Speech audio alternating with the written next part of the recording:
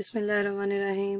अस्सलाम वालेकुम स्टूडेंट्स, कैसे हैं आप सब? होपफुली ठीक होंगे। Welcome back to my channel student help desk अगर तो आपने अभी तक मेरा चैनल सब्सक्राइब नहीं किया तो स्क्रीन पे आपको सब्सक्राइब का बटन दिख रहा होगा। सब्सक्राइब करें मेरे चैनल को और बेल आइकन को प्रेस करें, ताकि मेरे आने वाले वीडियो लेक्चर्स आप मिस ना कर सकें।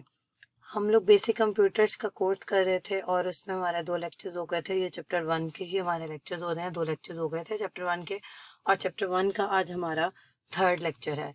अगर आपने पिछले दो लेक्चर्स नहीं सुने किसी वजह से तो डिस्क्रिप्शन में आपको लिंक मिल जाएगा। आप वहाँ से जाकर देख लेने तो मेरे चैनल पर जाएँगे। प्लेलिस्ट अलग बनी हुई है। वीडियोस अलग पड़ी हुई है, आप वहाँ से देख सकते हैं। उसके अलावा, अगर आपको ये स्लाइड्स आएँगे, जिनसे मैं पढ़ा रही हूँ तो आपको डिस्क्रिप्शन में इनका भी लिंक मिल जाएगा। आप सिंपली इस लिंक पे क्लिक करेंगे और उसको डाउनलोड कर लेंगे वहाँ से। आज हमारा टॉपिक है कैटेगरीज ऑफ़ कंप्यूटर ये कंप्यूटर्स की कुछ कैटेगरीज हैं। कंप्यूटर्स में मैंने आपको पहले बताया था, अपने लैपटॉप या कंप्यूटर को ही कंप्यूटर नहीं समझना। कंप्यूटर में बहुत सारी चीज़ें आती हैं, हमारा मोबाइल, फ़ोन टैबलेट ये सब कुछ एक टाइम पे इसको कंप्यूटर ही कहा गया था। ये अब आके हम लोगों ने इनके लिए डिफरेंट टर्म्स यूज़ कर दिए एक वक्त में टेक्नोलॉजी की हर चीज़ को कंप्यूटर ही कहा जाता था हमारे स्पीकर भी हमारे कंप्यूटर में आते थे माइक्रोफोन भी कंप्यूटर में आता था।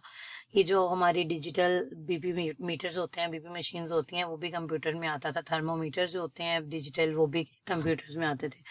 अब इनको डिफरेंट नेम दे दिए गए हैं अलग अलग लेकिन पहले ये टेक्नोलॉजी की हर चीज़ को कंप्यूटर ही गिना जाता है। मशीनरी जितनी भी है इलेक्ट्रॉनिक मशीनरी वो सारी की सारी हमारी कंप्यूटर ही गिनी जाती है। सबसे पहले हमारे पर्सनल कंप्यूटर्स है, ठीक है, उसके बाद मोबाइल कंप्यूटर्स हैं मोबाइल डिवाइसेस हैं गेम कंसोल्स हैं सर्वर्स हैं मेन फ्रेम्स हैं सुपर कंप्यूटर्स हैं और एम्बेडेड कंप्यूटर्स हैं। अब इनको हम वन बाय वन डिस्कस करेंगे।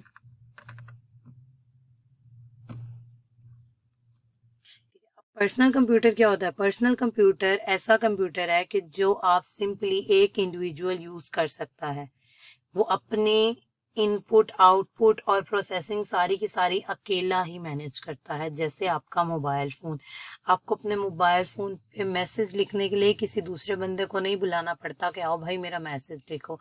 ना ही उसको सेंड करने के लिए किसी दूसरे बंदे को बुलाना पड़ता है। इसके अलावा जो आप घरों में लैपटॉप्स या डेस्कटॉप कंप्यूटर यूज़ करते हैं, वो हमारे पर्सनल कंप्यूटर होते हैं, जो एक इंसान यूज़ कर सके और वो सारा कुछ खुद ब खुद कर दे, उसको किसी दूसरे की हेल्प की ज़रूरत ना हो अपना कोई भी फ़ंक्शन परफॉर्म करने के लिए। अपनी सारी की सारी एक्टिविटीज़ वो एक ही जगह पे रह के खुद ब खुद परफॉर्म कर सकता हो, वो हमारा पर्सनल कंप्यूटर होता है। एक इसमें हमारे एप्पल के आते हैं, जो आईफोन्स वगैरह होते हैं, उसके कंप्यूटर्स भी होते हैं एप्पल के। वो हमारे होते हैं और दूसरा हमारा डेस्कटॉप कंप्यूटर हमारे पॉपुलर पर्सनल कंप्यूटर्स में आते हैं। आगे हमारे मोबाइल कंप्यूटर्स और मोबाइल डिवाइसेस बेसिकली होते हैं, वो भी पर्सनली हैं लेकिन उसको सेपरेटली मोबाइल कंप्यूटर्स या मोबाइल डिवाइसेस में यूज़ किया जाता है। मोबाइल कंप्यूटर क्या होता है? मोबाइल कंप्यूटर एक और चीज़ होती है मोबाइल डिवाइस और चीज़ होती है। मोबाइल डिवाइस हमारे स्मार्टफोन्स होते हैं और मोबाइल कंप्यूटर्स क्या होता है? वो एक नोटबुक कंप्यूटर होता है छोटा सा कंप्यूटर होता है, जैसे टैबलेट्स वगैरह। ठीक है, ये हमारे मोबाइल कंप्यूटर्स होते हैं, जो मोबाइल के साइज़ के होते हैं, लेकिन फ़ंक्शन सारी एक कंप्यूटर वाले कह रहे होते हैं। कुछ चीज़ें ऐसी हैं जो मोबाइल पे चल सकती हैं, वो कंप्यूटर पे नहीं चल सकती, और कुछ चीज़ें ऐसी हैं जो कंप्यूटर पे चल सकती हैं मोबाइल पे नहीं चल सकती। तो वो चीज़ें जो उस छोटे से मोबाइल साइज़ कंप्यूटर में चले लेकिन वो पर्सनल कंप्यूटर, बड़े कंप्यूटर में भी चल सकती हूँ, वो मोबाइल कंप्यूटर होता है। और ऐसी चीज़ें जो उसमें कंप्यूटर में नहीं चल सकती, वो मोबाइल डिवाइसेज होती हैं, जिसमें हमारे स्मार्टफोन्स आ गए और उसके अलावा कुछ मीडिया प्लेयर्स होते हैं डिजिटल कैमराज होते हैं, ये सारे हमारे वो कंप्यूटर्स हैं जो जो सॉरी, ये हमारी मोबाइल डिवाइस है, जिनको हम अपने हाथ में पकड़ के कहीं भी लेके जा सकते हैं। अब जैसे मोबाइल कंप्यूटर है, इसको हम कैरी करके लेके जा सकते हैं, लेकिन इसके साथ कीबोर्ड सेपरेट लगेगा माउस सेपरेट लगेगा, ये एक स्क्रीन ही होगी जिसको हम कहीं भी लेके जा सकते हैं। इसका छोटा सा कोई कीबोर्ड होगा, छोटा सा कोई माउस होगा, लेकिन मोबाइल डिवाइस का ऐसा कुछ नहीं होता, वो सब कुछ उसके अंदर ही होता है। ठीक है? आगे इसमें, आगे notebook computer tablet PC smartphone and PDAs PDAs भी ये कंप्यूटर्स की एक टाइप है।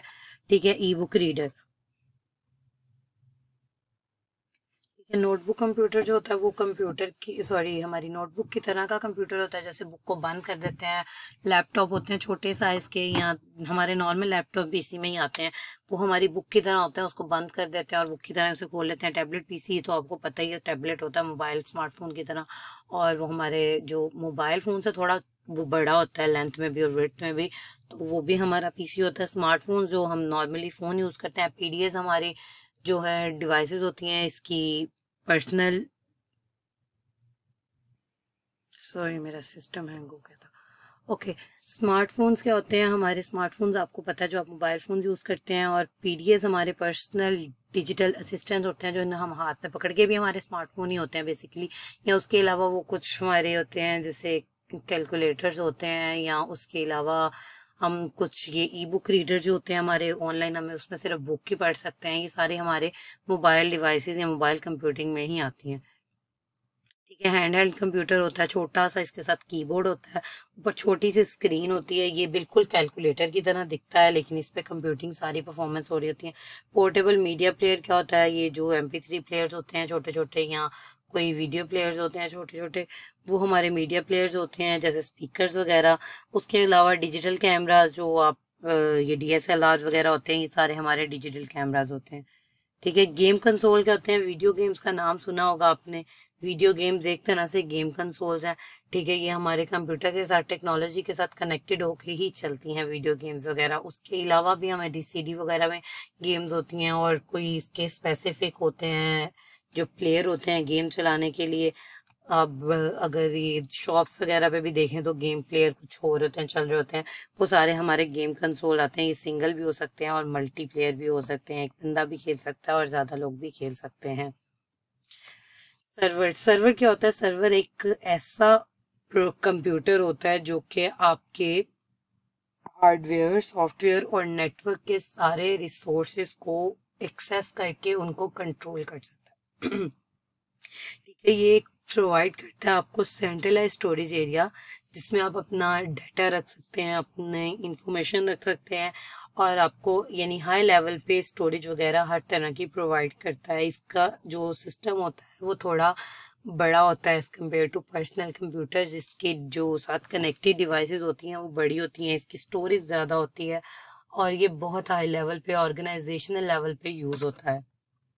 मेन फ्रेम मेन फ्रेम एक बड़ा और एक्सपेंसिव पावरफुल कंप्यूटर है, जो कि अपने साथ जुड़े हुए थाउजेंड्स ऑफ़ कंप्यूटर या हंड्रेड ऑफ़ कंप्यूटर को एट अ सेम टाइम जो है मैनेज कर सकता है। यानी एक बेसिक कंप्यूटर होता है और उसके साथ उसके सब यूनिट्स कनेक्टेड होते हैं और वो जो सब यूनिट्स होते हैं, उन सबको कनेक्ट करके एक ही प्लेस पे उनके जो सारे के सारे फंक्शनिंग होती है, वो हो रही होती है और वो सारा का सारा मैनेज कौन कर रहा होता है? मेन फ्रेम जैसे आप यूँ कह लें कि एक ही सीपीयू के साथ बहुत सारे मनीटर कनेक्टेड हैं।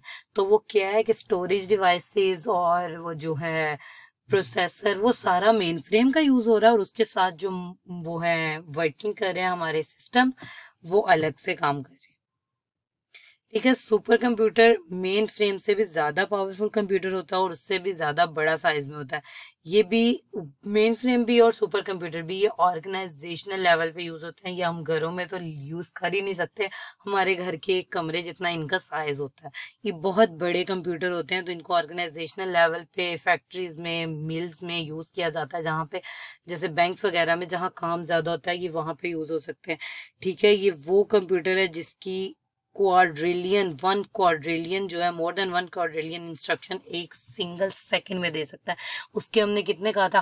हंड्रेड और थाउज़ेंड और ये उससे भी ज़्यादा बिलियन ट्रिलियन में जाके, बल्कि बिलियन ट्रिलियन से भी ज़्यादा क्वाड्रिलियन जो है, इसकी जो इंस्ट्रक्शन कैपेसिटी है। ये बहुत हाई लेवल और मोस्ट पावरफुल और मोस्ट स्पीडीली जो चलने वाला कंप्यूटर है, ये वो है विद इन सेकेंड्स आपको पता भी नहीं चलता और काम हो जाता है। हमारे जो पीसीज होते हैं, जैसे अभी मेरा सिस्टम हैंग हो गया था, इसी तरह हमारे पीसीज हमारे मोबाइल फ़ोन ये हैंग हो जाते हैं। इनमें हम एक साथ बहुत सारे काम नहीं कर सकते। लेकिन जो सुपर कंप्यूटर होता है, उसमें हम एक साथ बहुत सारे काम कर काम कर सकते हैं। एम्बेडेड कंप्यूटर एक छोटा सा कंप्यूटर ईजाद कर दिया जाता है छोटे छोटे कामों के लिए, जो हमारे घरों में या किसी भी चीज़ में इजीली हम यूज़ कर सकते हैं। जैसे अगर फॉर एग्जांपल हमारा कोई लैपटॉप है, उसका कीबोर्ड ख़राब हो गया है तो हम बाज़ार से अलग से खाली कीबोर्ड लेकर आते हैं और उसको अपने लैपटॉप के साथ कनेक्ट कर देते हैं। ये हमारा एम्बेडेड कंप्यूटर होता है, जो सिर्फ़ एक स्पेशल पर्पस के लिए यूज़ किया जाने वाला कंप्यूटर होता है, वो हमारा एम्बेडेड कंप्यूटर होता है। यानी बड़ी सी प्रोडक्ट में एक स्पेसिफिक फ़ंक्शन करने के लिए हमारा कंप्यूटर कनेक्ट जो होता है ना, उसको हम एम्बेडेड कंप्यूटर कहते हैं।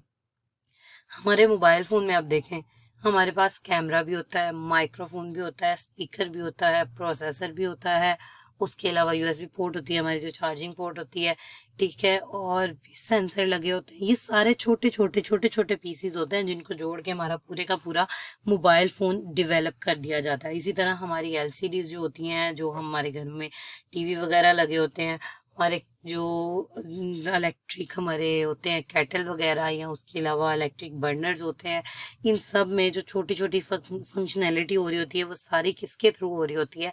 एम्बेडेड कंप्यूटर्स के थ्रू ये नीचे उन्होंने डिवाइसेस के नाम लिखे हुए हैं। कंज्यूमर इलेक्ट्रॉनिक्स में कौन कौन सी आती हैं? होम ऑटोमेशन में थर्मोस्टेट ये वही जो मैंने आपको बताया इलेक्ट्रिक बर्नर्स होते हैं हमारे।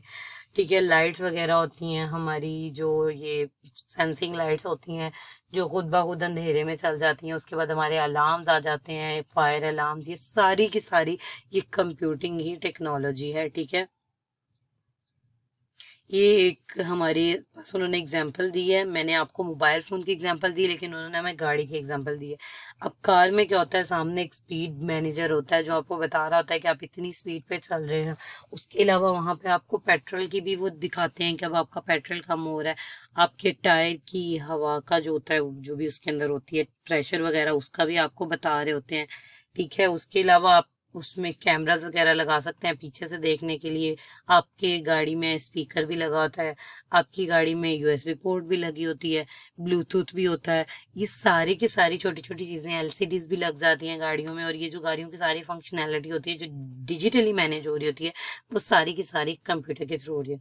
ये था जी आज का topic categories of computers hopefully आपको मज़ा आया होगा अपने टॉपिक को लेक्चर को एंजॉय किया होगा। अगर आपको वीडियो अच्छी लगी है तो लाइक करें कमेंट सेक्शन में बताएँ कि वीडियो अच्छी लगी है। अगर कहीं पे कोई मसला रहा, कोई चीज़ आपको समझ नहीं आई या कोई चीज़ मुझे समझानी नहीं आई तो आप मुझे कमेंट सेक्शन में ज़रूर बताएँ कि यहाँ से आपकी तरफ़ से मसला रहा है या यहाँ से हमें समझ नहीं आई। इनशाला आपको ज़रूर कमेंट में रिप्लाई मिल जाएगा।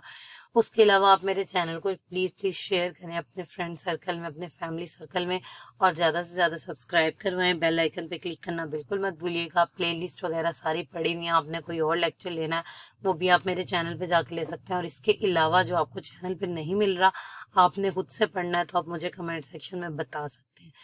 थैंक यू सो मच फिर मिलेंगे एक नए लेक्चर एक नई वीडियो के साथ। अल्लाह हाफिज़।